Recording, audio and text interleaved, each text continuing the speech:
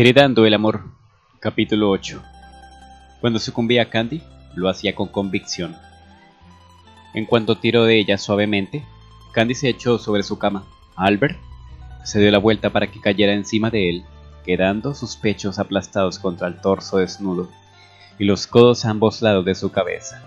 En aquella postura, Candy se inclinó hacia adelante y observó cómo la sombra de su cara atenuada al reflejo plateado de sus facciones Bajó la cabeza y sus labios trazó los contornos de su rostro para aprendérselos de memoria, hasta que él abrió la boca para besarla.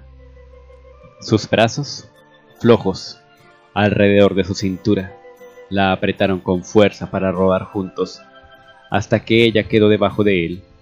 Candy separó las piernas al tiempo que él se acomodaba entre ellas y movió las caderas hasta que su erección quedó situada precisamente en el lugar adecuado.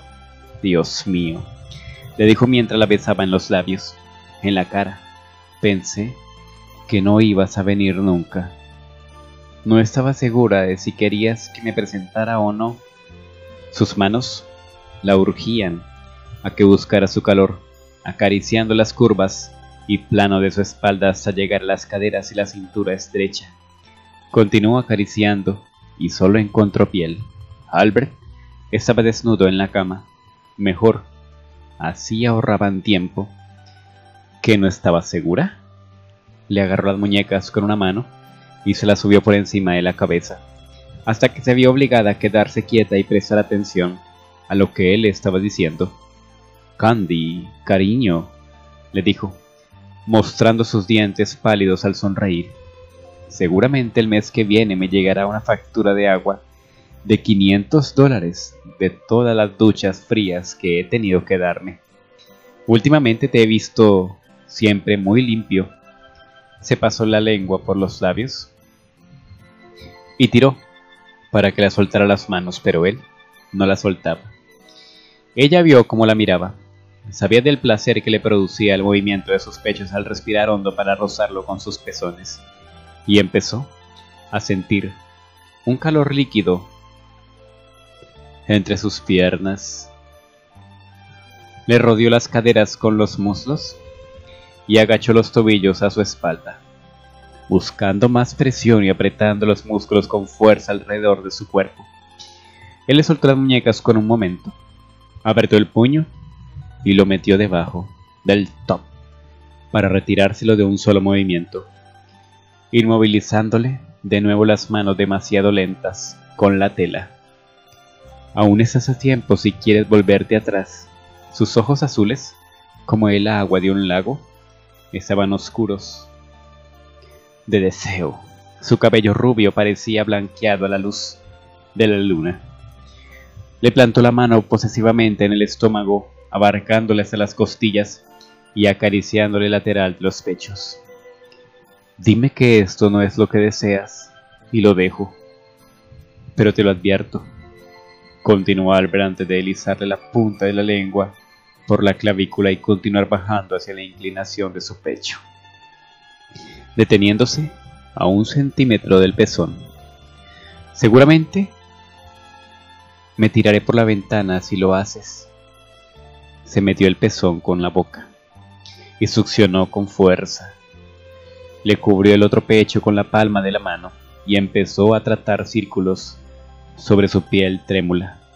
La combinación de sensaciones estachó en ella, como un estallido repentino de calor.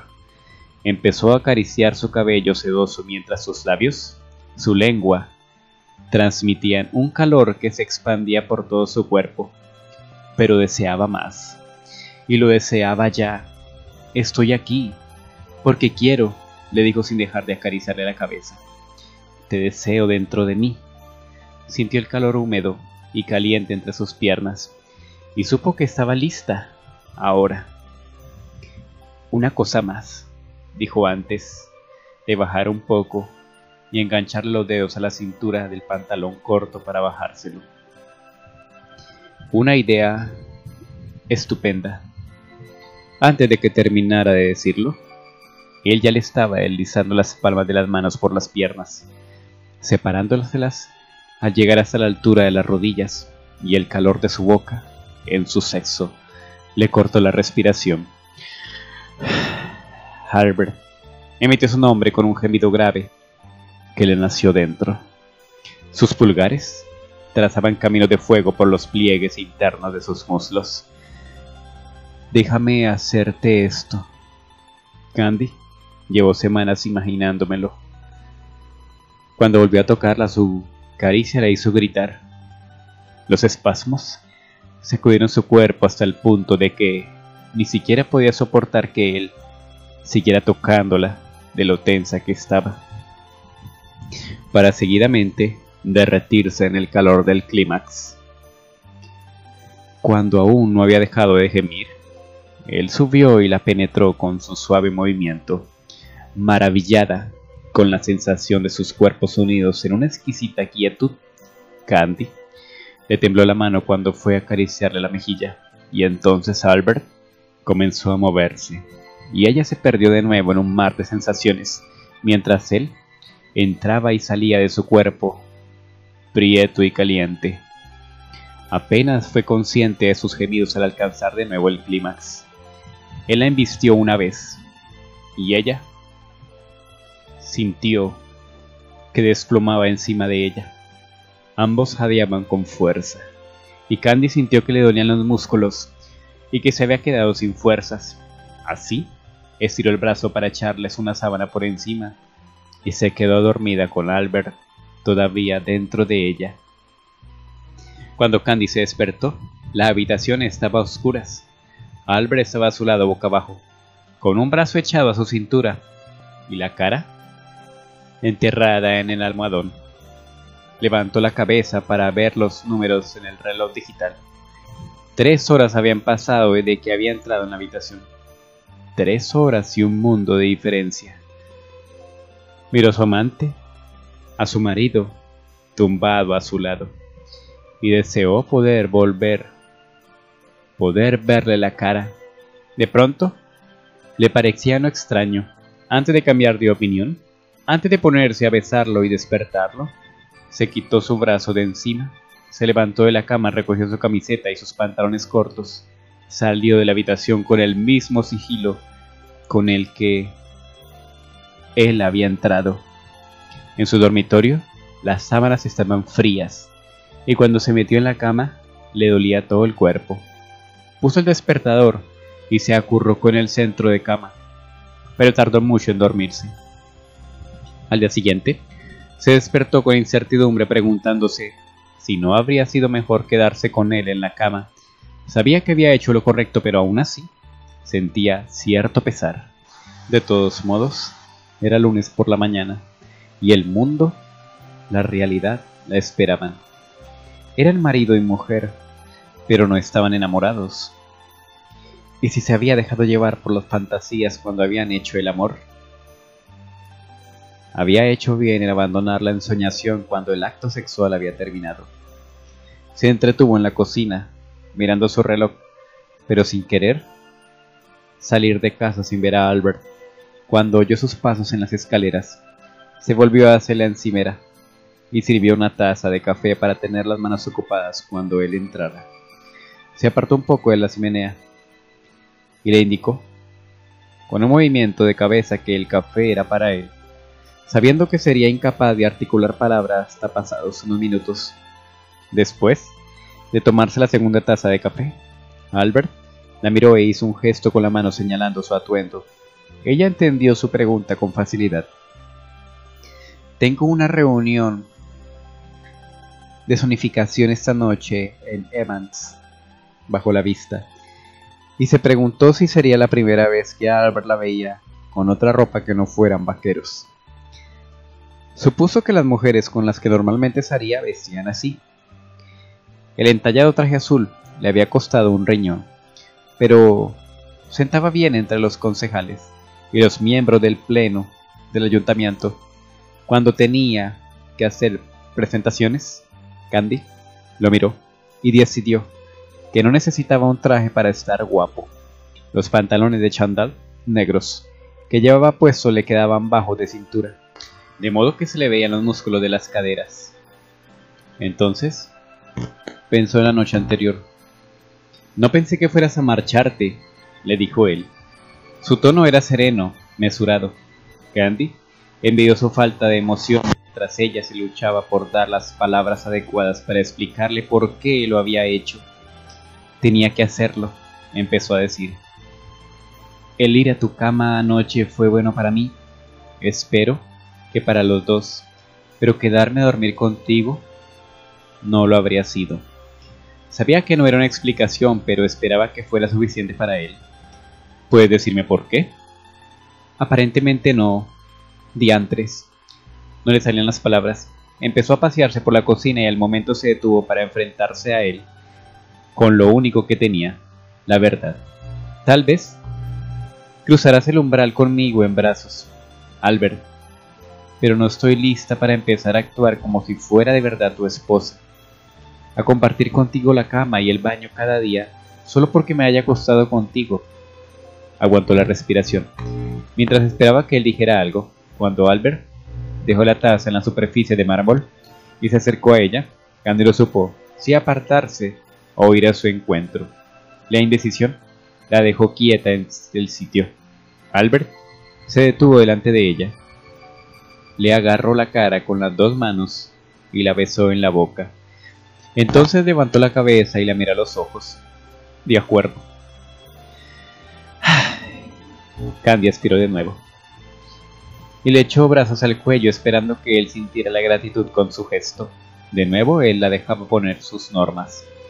Y si por un momento se preguntó por qué él no parecía desear nunca más de lo que ella le daba, eso era problema suyo. Albert se retiró entonces y empujó la puerta. Vete ya, Sé que llegarás tarde. Ella volvió la cabeza y le echó la última mirada de agradecimiento. Antes de agacharse y recoger su maletín, ¿Mm? él le guiñó el ojo. Cuando llegues a casa, puedes pasar a decirme hola, si te apetece. El día pasó lento, sin prisa.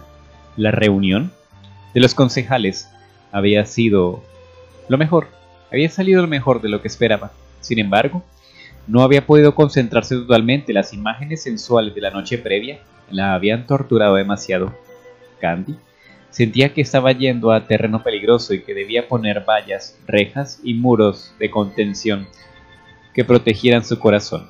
Albert la estaba consintiendo demasiado. Le daba lo que quería. En un momento se puso a pensar, Candy, eso no es del todo cierto. Si no fuera por el maldito testamento, yo no me hubiera visto obligada a casarme con él. Lo más inteligente sería dormirse. ¿Dormirse? No. En los laureles tampoco. Lo más inteligente sería dominarse, dormir sola y dar ejemplo de lo que había dicho. Pero la casa estaba tan silenciosa cuando llegó por la noche y su habitación le pareció tan solitaria, además, Llevaba todo el día pensando en él. Así que se perdonó a sí misma cuando entró en la habitación de Albert. Él se despertó enseguida y la acogió con los brazos abiertos, desnudo, como lo estaba ella. Hicieron el amor en silencio, un silencio roto tan solo por los gemidos de placer que no podía aguantarse dentro. Ella arqueó su cuerpo encima de Albert hasta que él se estremeció debajo de ella y Candy alcanzó el clímax mientras seguía cabalgando sobre su cuerpo. Cuando estuvo segura de que él se había dormido, se levantó de la cama y se fue a su dormitorio. Al día siguiente, se lo tomó libre, pensando que necesitaba estar a solas en casa para aclarar las ideas, pero después de pasarse una hora entera pensando, con una taza de té en la mano, decidió que lo suyo no tenía solución y se puso de pie. Albert la encontró de rodillas en uno de los baños del primer piso, arrancando los últimos pedazos de papel, pintado color verde, guisante. Cuando ella levantó la vista, vio que tenía una lata de cola light en una mano y un sándwich en la otra. No sé por qué sabía que llegarías hoy pronto a casa, le dijo él. Es que no he ido a trabajar, me he tomado el día para asuntos personales. Él le pasó la lata y Candy la abrió y dio un trago mientras él miraba las paredes. Sé que todavía no es mi casa, pero creo que nadie tiene por qué soportar un color así. Él le sonrió. Tienes toda la razón, dijo Albert. Dame un minuto para cambiarme y te ayudo a lijar la pared. Había disfrutado trabajando sola, pero acogió de buen agrado la idea de Albert, de que Albert la ayudara. Ese hombre la sorprendía con cada detalle. A ese paso, ni los muros de acero parecían tener el poder suficiente para guardar su corazón. Rayos, Candy, deja de pensar boberías. Hasta que no bajaron a la cocina a tomarse un descanso, no se enteró ella de que él había vuelto tan temprano a casa por algo. Tras lavarse un poco las manos y la cara sacaron una bebida de la nevera y salieron al jardín a respirar un poco de aire fresco. Gracias por la ayuda, le dijo mientras aspiraba hondo. Me alegro que hayas venido temprano a casa. Bueno, quería hablar contigo. Candy se negó a ponerse tensa al pensar en otra conversación embarazosa. No hemos tenido cuidado, Candy. Ella lo miró con una expresión confusa y se llevó una mano a la mascarilla que tenía en la cabeza. No me refiero en el cuarto de baño, Candy, sino en el del dormitorio. ¿Cómo? En el dormitorio, querida. De pronto, entendió lo que él decía. Se sentó en el escalón de cemento. Los recuerdos de las noches que habían pasado juntos se sucedieron en su mente al detalle, incluso la sensación de tenerlo dentro. No dijo nada, sino que se quedó mirando al suelo, tratando de averiguar cómo había perdido la cabeza de tal modo ¿Cómo habría permitido que eso ocurriera? ¿Estás tomando algo? Ella lo miró y se echó a reír con nerviosismo. Aparte de una aspirina de vez en cuando, negó con la cabeza. No hace tanto tiempo que no... Dios santo, ¿cómo he podido ser tan tonta? Lo que menos me hace falta es terminar siendo... ¿Madre soltera? Terminó a decir Albert. Acabaría haciendo exactamente eso, dijo ella tras un momento de silencio. Mira. No nos precipitemos, calculó mentalmente los días. Seguramente estoy bien, y si tengo algún problema será mi problema. Él se acercó y se quedó de pie en el hueco entre sus rodillas. No seas ridícula. Si nosotros tenemos un problema es nuestro y quiero que me lo digas inmediatamente. Ella sintió sin decir nada. Con respecto a lo que pase de ahora en adelante, ya me he ocupado de eso. Me parece bien, por la protección doble es mucho mejor. Mañana llamaré a mi ginecólogo. Pero cuando la mañana siguiente habló con su doctora, la mujer le dijo que tendría que esperar hasta saber que no estaba embarazada. Podría empezar a tomar la píldora el ciclo siguiente. El estrés provocado por el miedo de un embarazo no deseado tranquilizó un poco el ambiente entre ellos durante un tiempo, pero no por las noches. Candy estaba segura de que nada podía impedirle ir a la cama de Albert a medianoche. Pasó otra semana en la que Candy entró en un periodo de calma, y aunque ella le costaba permanecer lejos de él, ponía todos sus esfuerzos en lograrlo. Entonces Albert le puso en otro apuro. ¿Qué es lo que quieres que haga? dijo Candy. Hacía tan buen tiempo para el primer día de mayo que había decidido hacer una barbacoa y comer en el jardín trasero. Albert le sonreía sentado frente a ella. No es más que una cena con un colega y su esposa. Le agarró la mano que tenía libre y le besó los nudillos. Vamos, acompáñame. Puedes decir que eres mi novia. Ella le sacó la lengua. No sé si eso es mejor o peor que la verdad. Bien, entonces puedes decir que eres mi esclava en la cama. Bueno, eso sí que es verdad, le dijo frunciendo el ceño, hasta que la mirada ardiente de Albert y su manera de acariciarle la cara interna del codo le recordaron que no hacía falta mucho para persuadirla. Además, no solo es la cena, sino que también es ir a una sinfonía, protestó Candy. Primero es la sinfonía y después la cena y te gustará, te lo prometo. Tal vez solo me conozcas desde hace un par de meses, pero deberías saber que no soy de esa clase de personas a las que le gusta la música sinfónica. Retiró la mano y dio un trago a su bebida. Llévame a un bar de jazz o blues y estaré como en casa. Sonrió solo de pensarlo. Maldita sea, No hay nada mejor que sudar, y sudar bailando hasta el amanecer, en un bar lleno de gente al salón. Eh, la música reggae se me ocurre de una manera mejor que sudar. Incluso podría llamarse baile. Le deslizó al pie por la pierna hasta colocárselo en el regazo. Ella se lo quitó de encima. Deja de distraerme. Lo que quiero decir que no soy de la clase de mujer a la que le gusta ponerse vestido de noche, collares de perlas e ir a una sinfonía de música clásica. Bien, dijo él. Candy sintió contenta de habérselo dejado claro. Sin embargo, Albert no la dejó pasar y se lanzó. ¿A que no te atreves? le dijo de pronto Albert. Ella apretó los dientes. Veo que mi hermano había... Él habla demasiado, murmuró. Uno de estos días te voy a decir cuál es su verdadero nombre y veremos si le gusta o no. ¿Por qué? Candy, ¿a qué te refieres? dijo Albert con una sonrisa en los labios. Candy tuvo ganas de tirarle la cara lo que le quedaba en la lata. Solo Tom sabe lo mucho que me cuesta resistirme a un desafío. Estaba perdiendo aquel round, pero quería algo a cambio. Bien, iré contigo a la sinfonía y a cenar, pero entonces otro día tienes que salir conmigo a donde yo elija. Hecho. Candy siempre se había enorgullecido de saber delegar, y por eso sabía exactamente qué era lo que había que hacer en ocasiones como aquella, y cómo no le quedaba más remedio que comprarse un vestido para la ocasión. Se tomó la tarde libre y llamó a Annie. No quiero que te vayas a la casa con un aburrido vestido negro, le había dicho su hermana. La noche del evento, Candy estaba delante del espejo, terminando de ponerse los pendientes tambaleándose sobre el zapato de tacón alto que se había puesto haciendo equilibrios mientras buscaba el segundo zapato con el otro pie. Albert la esperaba ya abajo, y Candy sabía que estaba tardando en bajar. Entonces retrocedió un poco y se miró al espejo.